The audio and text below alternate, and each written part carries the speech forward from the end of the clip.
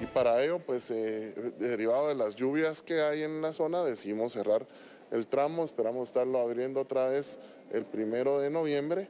eh, de forma parcial con carril reversible y ya dejarlo totalmente aperturado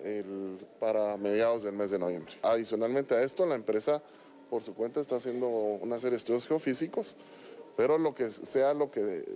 como se vaya a conducir el flujo de agua, hay que reducir el talud para evitar el derrumbe sobre la cinta asfáltica. Es una zona puntual, no es todo el derrumbe,